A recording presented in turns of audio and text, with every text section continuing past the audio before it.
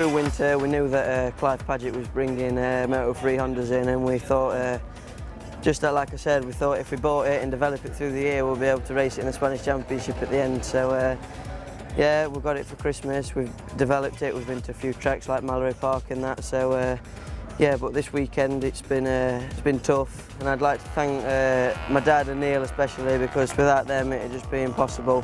Especially Neil, he's drove from up uh, Durham just to come down here and help me. So uh, it's it's I'm, I'm proud of him.